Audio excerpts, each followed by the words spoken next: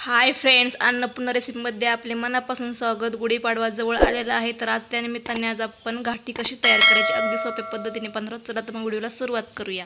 तर इथं मी स्टीलच्या वाट्या घेतलेल्या आहेत सात. त्याला मी तूप लावून घेत आहे. तुम्ही काचेच्या वाट्या वापरल्या तरीही चालतील. सगळ्या वाट्यांना तूप लावून घ्यायचं आहे. तूप लावल्यानंतर मी असं दोरा घेतलेला आहे. जाड दोरा घ्यायचा आहे. आणि डबल दोरा करून घेतलेला आहे आणि त्याच्या वाट्यामध्ये ठेवून घेत आहे दोरा. गॅस चालू करून पॅन ठेवलेला आहे. त्याच्यामध्ये मी अर्धा कप साखर टाकून घेत आहे आणि त्यानंतर छोटा कप आहे ते एक पाणी घेतलेलं आहे. तर हलवून घेऊया. आपल्याला चाचणी घ्यायची आहे. साखर विरगळेपर्यंत हलवून घेऊया. तर साखर पूर्णपणे विरघळलेली आहे. दिसत असेल तुम्हाला? साखर विरघळलेली आहे. तर आपल्याला चाचणी घ्यायची आहे. ही प्रोसेस कमी गॅसवरच करायची आहे. फास्ट गॅस करायचा नाही.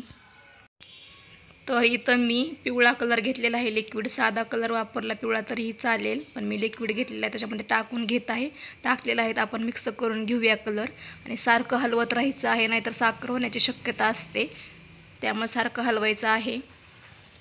तर अशा प्रकारे कलरही मिक्स करून घेतलेला आहे. तर आपण प्लेटमध्ये टाकून पाहूया चाचणी झाली आहे का नाही ते.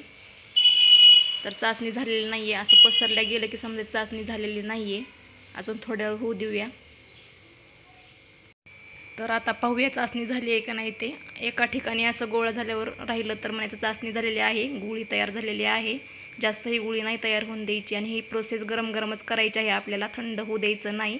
तर मी वाट्यामध्ये सगळ्या टाकून घेत आहे. अशा प्रकारे व्हिडिओ दाखवल्याप्रमाणे प्रोसेस करायची आहे. गरम गरमच तुम्ही जर अजून सबस्क्राईब केलं नसेल तर सबस्क्राईब करा आणि बेल आयकॉनही प्रेस करा. तर तुम्ही यावर्षी घरच्या घरी गुढीला गाठी बनवून घालू शकता. किती सोपी आहे गाठी बनवायला? आपण आपल्या हाताने बनवले म्हटल्यावर त्यामध्ये वेगळाच आनंद असतो. तर इथं मी सगळ्या वाट्यांमध्ये टाकून घेतलेलं आहे. पाहू शकतो तुम्ही तर आता आपण दहा मिनटं थंड होऊन देऊया. तर दहा मिनिट झालेलं आहे तुम्हाला मी अलगद थोडंसं काढून पूर्ण काढून दाखवते घाटी अशा प्रकारे. किती छान सुरेख अशी आपली घाटी तयार आहे गुढीपाडव्यासाठी. पाहू शकता तुम्ही खूपच मस्त अशी झालेली आहे येल्लो कलरची घाटी. तर एका ताटामध्ये मी ठेवते.